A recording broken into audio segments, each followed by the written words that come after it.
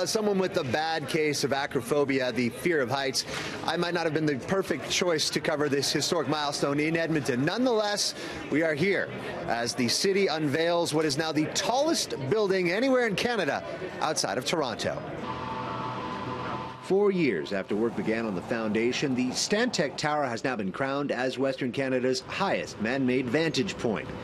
Crews topping out the building Friday, settling in at 69 floors or 251 meters. How does it feel to be uh, going to the top of the tower today, to be able to, to see your, your work finally capped off? You know, this is the first time I've been up there, so I'm really looking forward to it.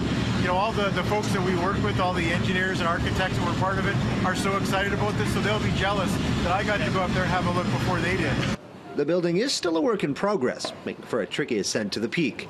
28 floors up an elevator, followed by another 38 via construction lift, and then climbing the final three flights of stairs. Well, if you've ever wondered what it's like to be on the top of the world, this is as close as you're going to get. The 69th floor of the tallest building in Edmonton.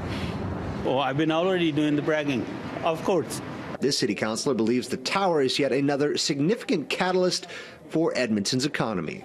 One project gives uh, uh, basically birth to a lot of other projects, and uh, this kind of project is going to bring many more excitement, and that's good for the city.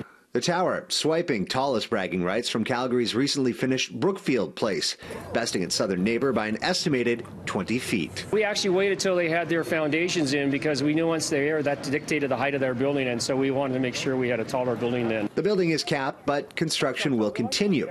The crane won't come down until next April, with work remaining on both a public plaza and residential condos. And then there's the little matter of putting a figurative cherry on top for all to see. I mean, you can see this building from 30, 40 miles away. We're hoping to animate the top and, uh, and something that'll be quite a visible beacon for the ice district and the downtown and be a real attraction. In Edmonton, Courtney Theriault, City News.